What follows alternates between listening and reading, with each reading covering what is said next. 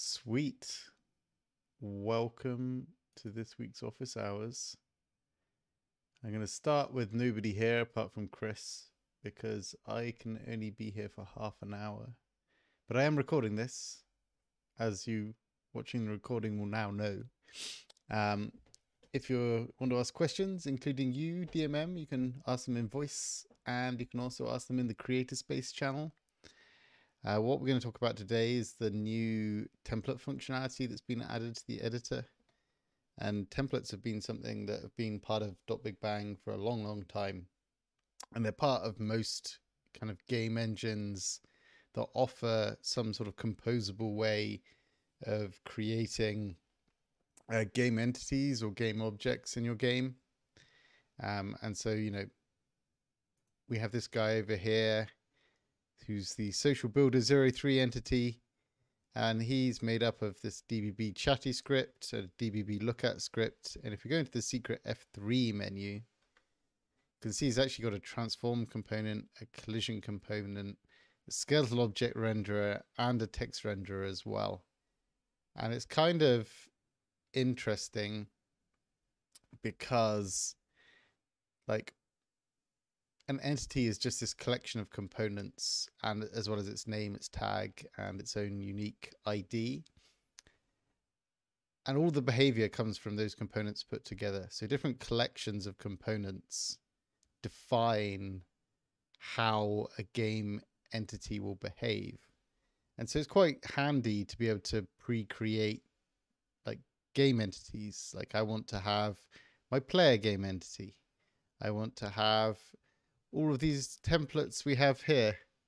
So the template tab is, has been populated with templates for a little while now. We had released the template toys, which give a bunch of things that you can can kind of do with templates that interact with our default player really nicely. And so these are all just using our template system. They're just templates that have been flagged to say, hey, you can use these. Um, and eventually we'll have your templates in here and you'll just be able to drag them into the game as you can with these.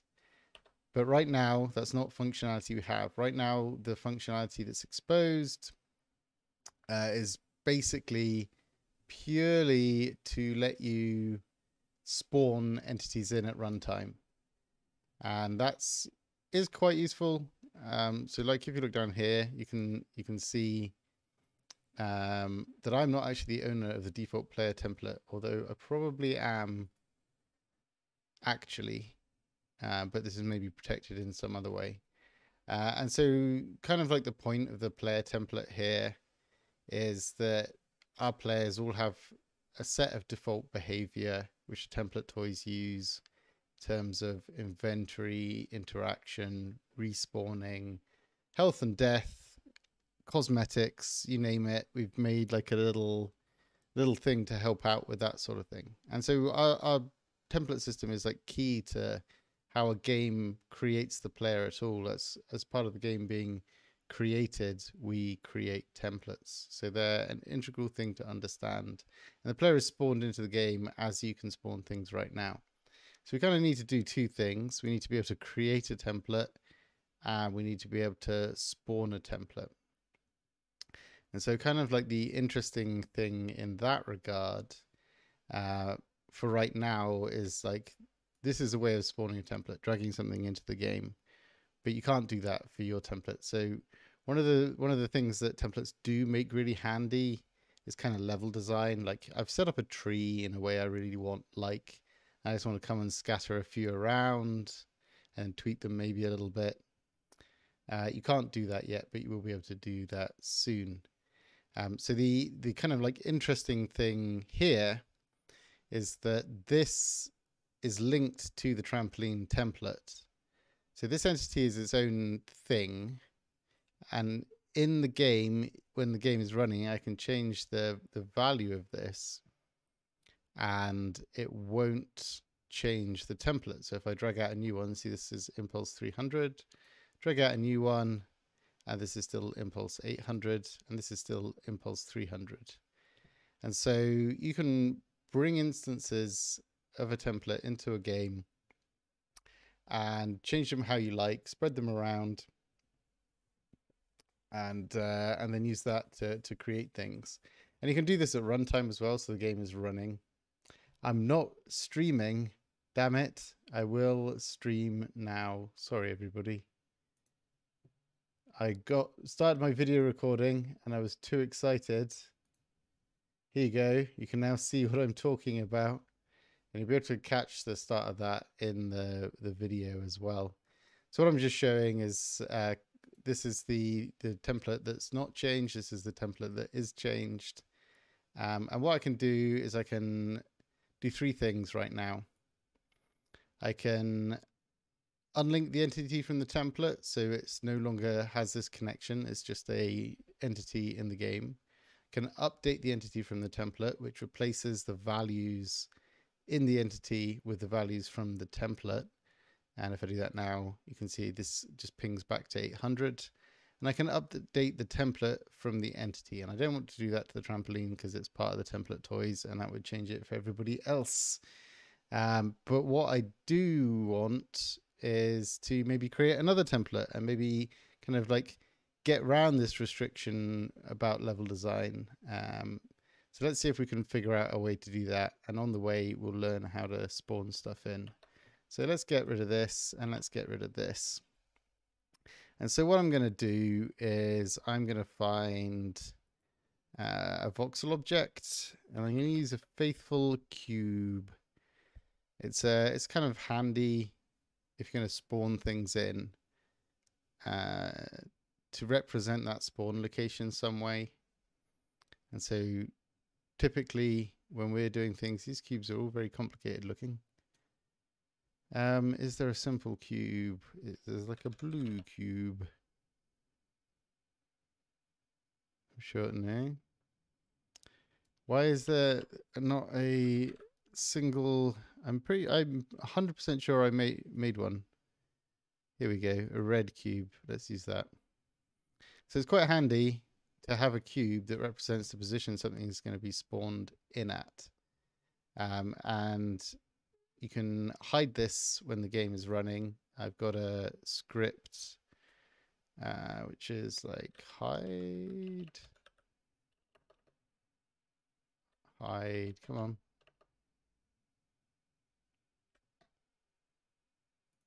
Somewhere. Yeah, well, maybe it's. I think it's using some cheats to dive into the engine to hide stuff. But the the net thing is you can hide stuff if you want to. We won't do that just now, just because I can't find the script to add. Um, do we want to create a new script? And we'll call it Office hours spawning. And all of that's good. And so what the first thing is we want a template to spawn. And that needs to be a template ref. And this then gives you a way of spawning templates into the game. And what we're going to do is use our API just to spawn this in uh, add entity from template. We've got the template, so we can do this dot template get exclamation mark because we're going to say basically if we don't have a template set, that's a bad thing. Um, so this is going to cause an error in a second because we don't have a template set. Uh, you can set whether you want it to be, in fact, it's going to cause an error now. No. You can set whether you want it to be networked or not. So um, will the creation of this entity be networked across everybody that's connected? So for this example, we'll say false. Do we want to network the transform? So do we want to send through updates about the entity's position and rotation and scale? Uh, we're going to say no.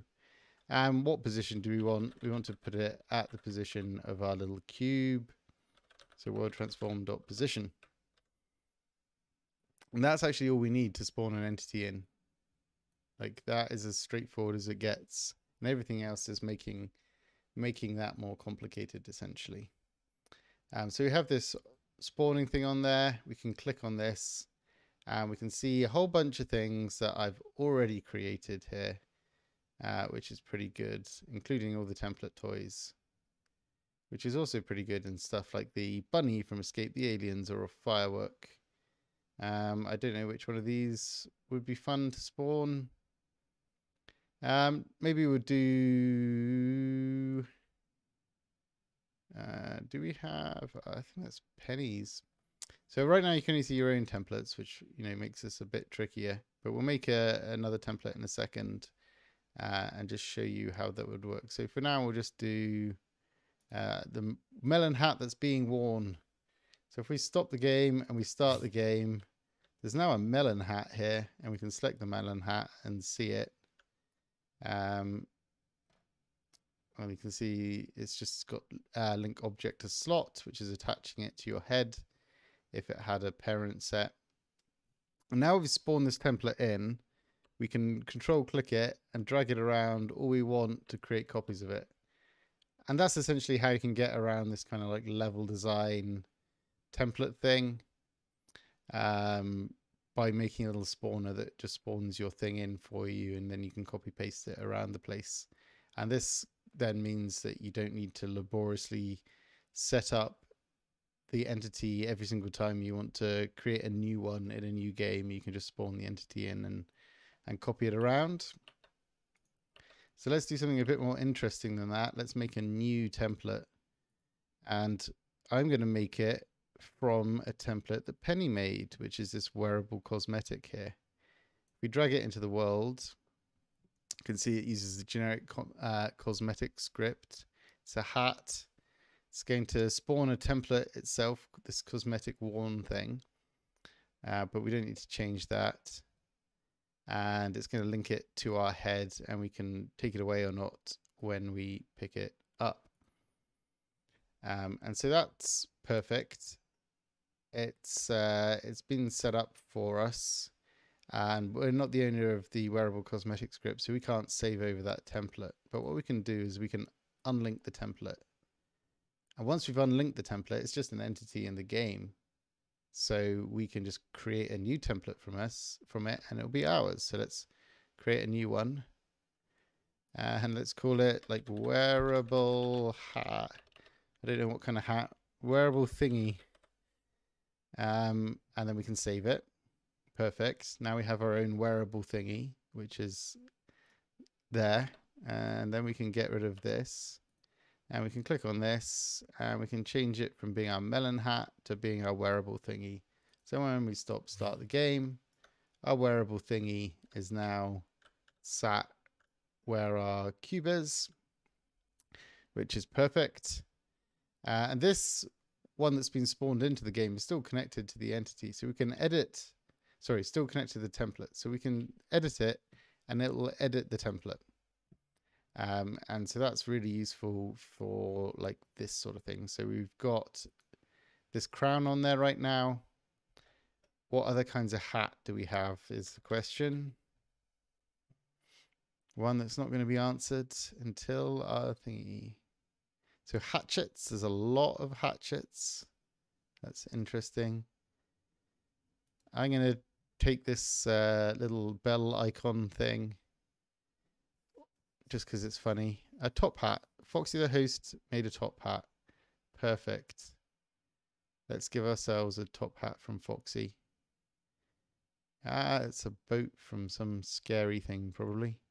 And so we changed the um, the object renderer, so that's updated it. We can call it Foxy's awesome hat in here. And then uh, we can update the template from the entity. So we'll overwrite it. Uh, we'll change the name to Foxy's awesome hat. And we'll save. Now we can delete this and go back here and we'll see this is updated to Foxy's awesome hat. And when we stop the game and play the game again, it spawned in that hat and I can run over it and I get the hat stuck to my head, which is perfect. So we've taken this wearable cosmetic template toy We've changed a voxel object on it and we've saved it. We unlinked it and saved it as a new template. And now we have this wearable hat that we can place anywhere we like in any of our games that we like. And it works within the system of uh, of template toys that we've created. So for example, if you wanted to do something with like player health, you could grab the health pack, see how it works by looking at the code, and then cut, uh, then unlink it from the template, create your own template from it in this F3 menu here, and just update it to do whatever it is you wanted to do. And so these template toys, as well as being a great way of getting in and like making gameplay without needing anything complex, are also a good way of just exploring how to make games yourself or giving you a starting point into making things now that templates are available. So the other kind of thing you can do um, with templates is obviously spawn them continuously. So like you have a missile launcher that you want to spawn missiles out of, you do it with a template. So let's repurpose our red cube to do something more exciting. And let's get rid of you. And there are some fireworks on here that I saw. So let's just see what one of those does. Firework white. I don't know what this will actually do when it spawns in might explode straight away. I don't know if that exploded because uh, it is in the ground or if it exploded. Yeah, so that might just be a VFX. Um, so what we can do, just to keep things simple, is just continuously spawn that. So we did this in start, and if we have a delay, and our delay is three seconds.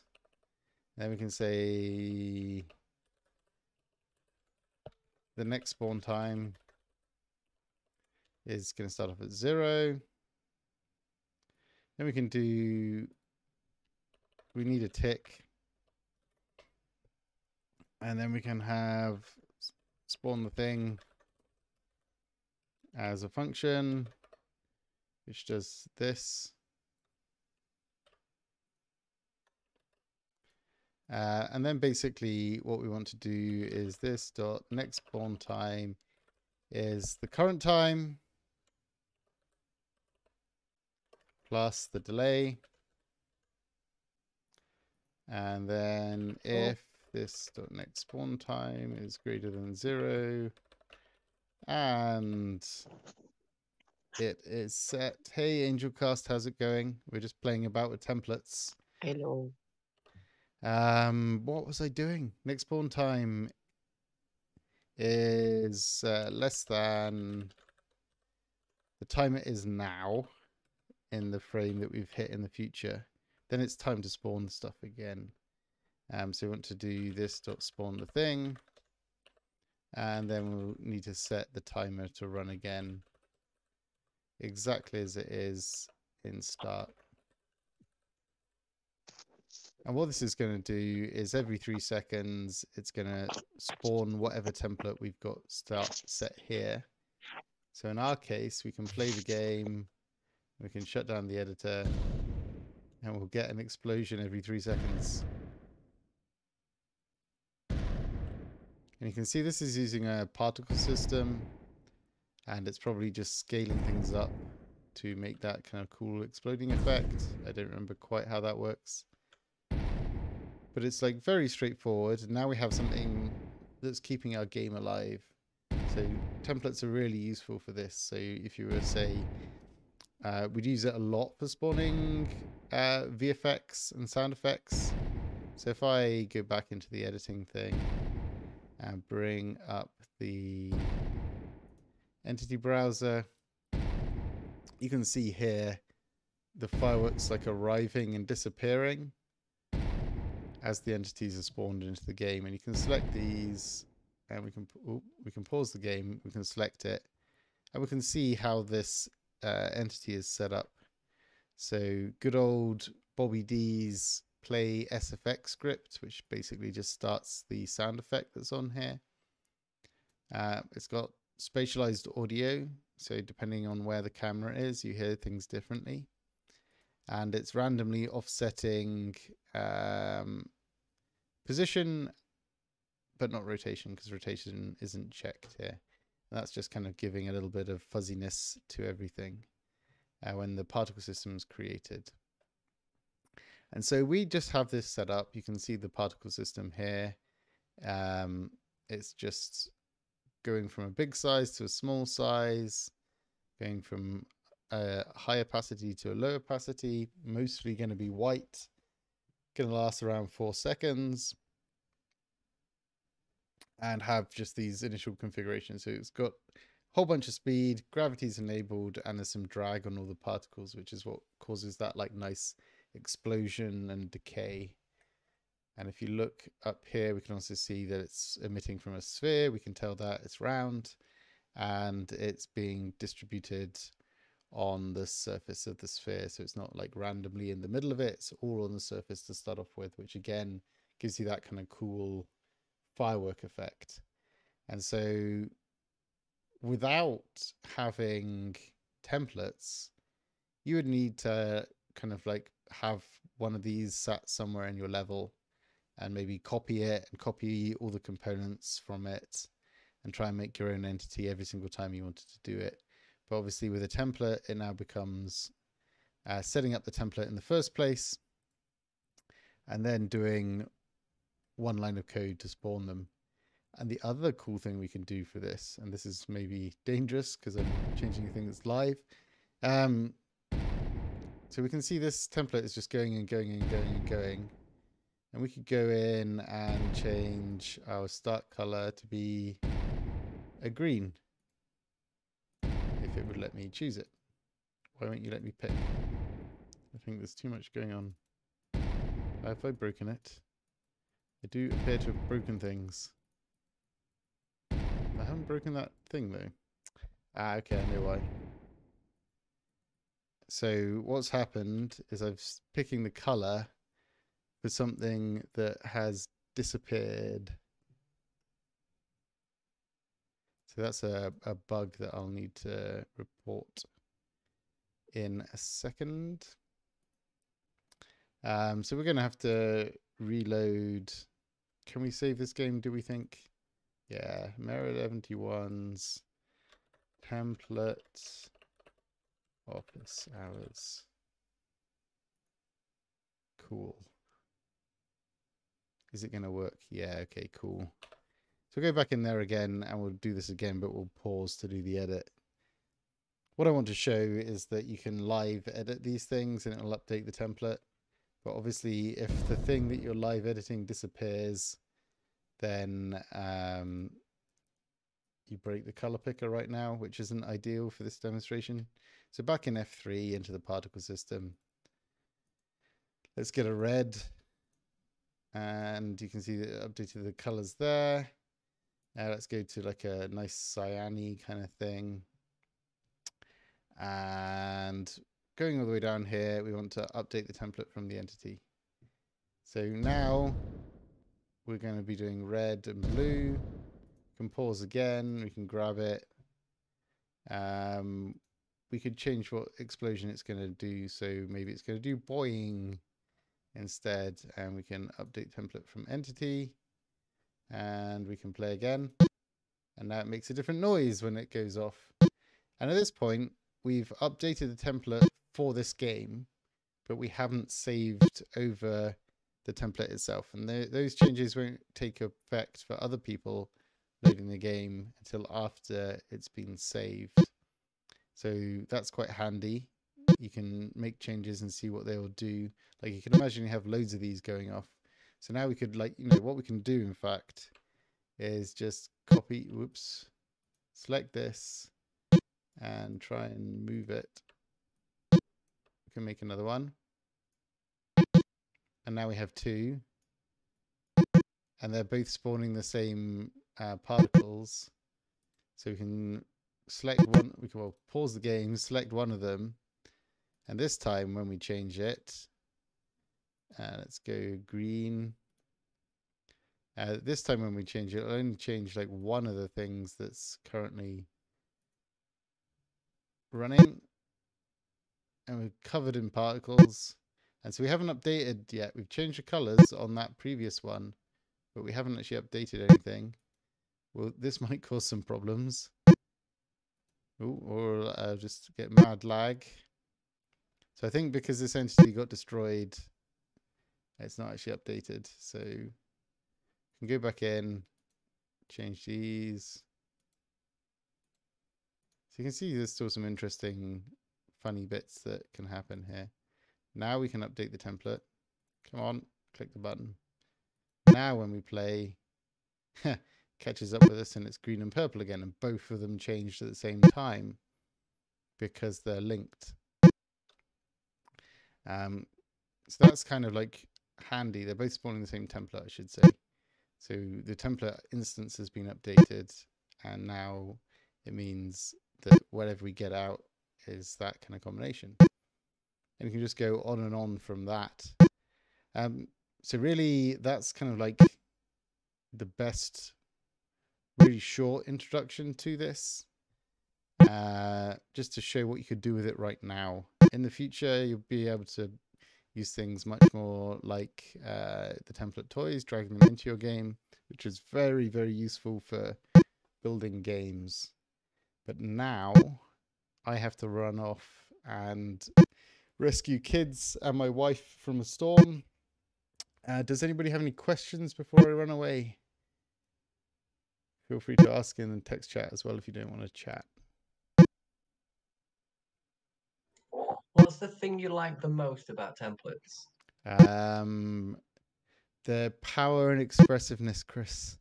No, I mean, like, I'm going to stop this because it's really distracting my eyes. Um, it's just purely like they're a significant part of really any game engine. Like Unity has prefabs. Um, Unreal has templates. Any game engine you you will come across has some sort of like data uh, data driven way of defining an entity that you can recreate.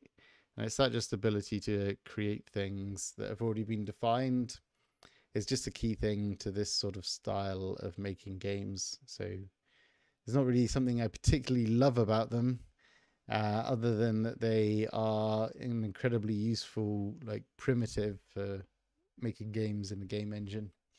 That's what I love about them, making games.